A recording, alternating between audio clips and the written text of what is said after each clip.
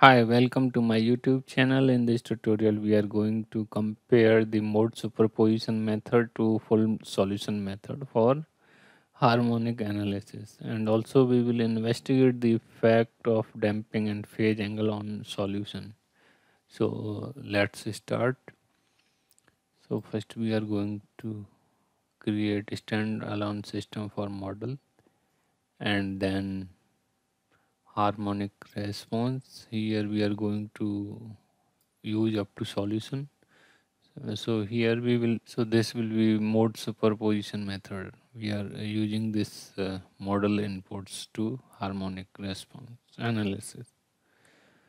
Okay now we are going to import geometry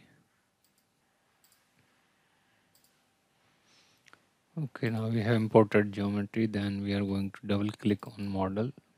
So here we can see the this beam size is 3 meter by 0.5 meter into 25 mm is the thickness. And uh, it is fixed at uh, both end. Here first what we are going to see we are going to check units.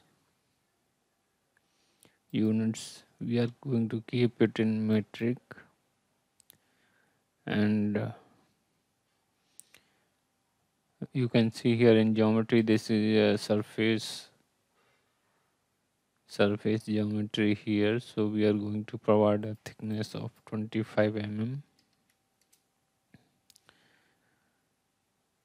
And also we are going to check materials so this is made up of a structural steel here and material also material is also applied we are going to insert fixed supports.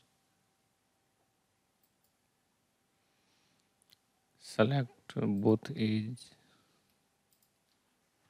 Apply. So like uh, the mode shifts and uh, frequency whatever we are going to obtain from this modal analysis it will be used in harmonic response calculation.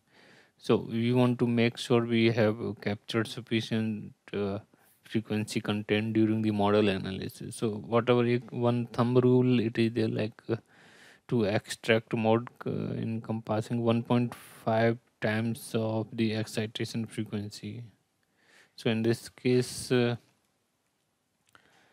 the machine operates at 50 hertz. So we will take 1.5 times of uh, 50 hertz. So that is 75 hertz so we are going to define a range here in an analysis setting. So we are going to limit search to range. So here we will click on yes. And uh, range maximum we are going to put 75 hertz. Okay and number of modes we are going to take? Six that is okay now we can solve this model. So now it has been solved and if you go to solution so within 50 hertz these two frequency are there. So okay we are going to select all create mode shape results. Now we are going to evaluate all results. Okay so that deformation we can get deformation and the behavior we can see here.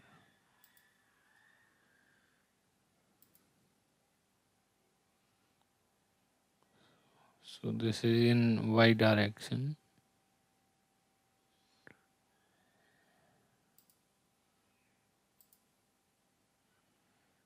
And for second one you can see this one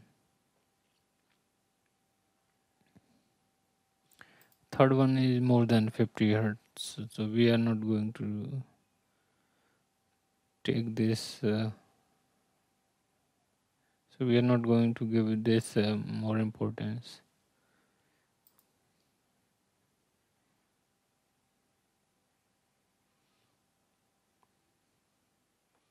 This is clocking about z axis. Okay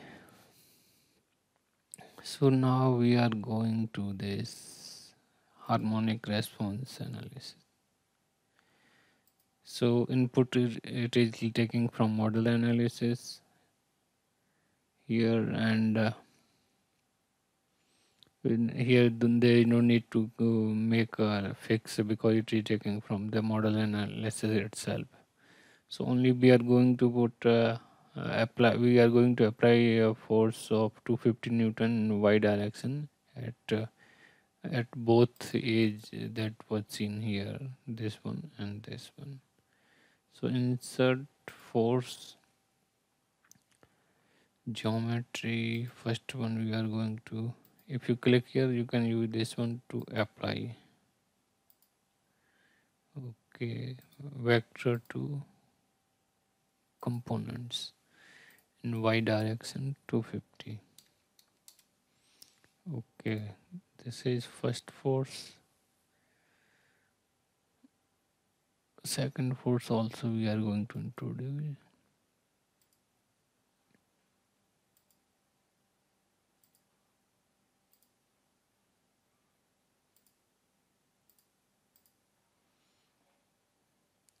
vector to component 250 Newton. Okay. Now we, we will click on analysis setting. Here we, are, we can see uh, range we have to define. So range we are going to define up to 50 hertz. And solution interval interval means uh, 0 to 50 there will be 10 intervals but we are going to increase it by 50 okay 50 interval we have put here. And also you can see solution method that is mode superposition. So also we are going to define a damping ratio of 2 percent damping ratio of 0 0.2 0 0.02 now now we are going to solve this. Okay. So like 50 intervals means uh, up to like 1 to 50 we have set like 50 frequencies. 1 2 3 4 like that Okay, then what we will do here.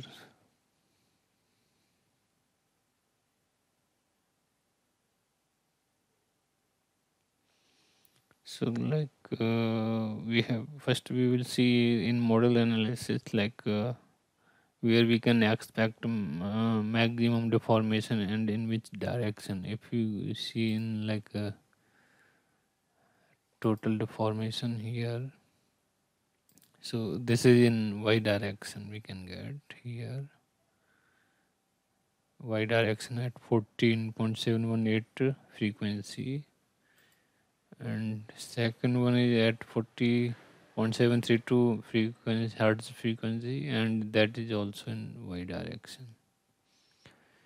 So okay So what we are going to do here, we are going to insert frequency response here, insert frequency response for deformation. So deformation and we are going to take uh, this surface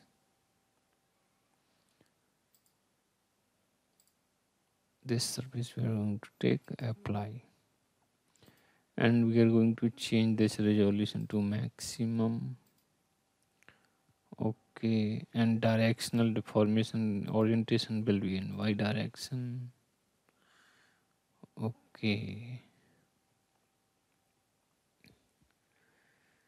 Now we are going to evaluate result for the frequency response plot evaluate all results so here we can see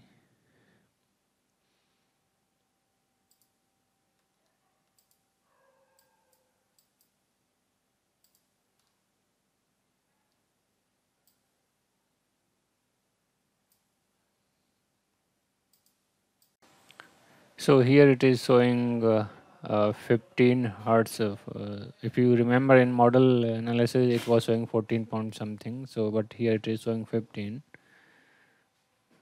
so here uh, in the next uh, tutorial we will modify this um, uh, mode superposition method how we can refine.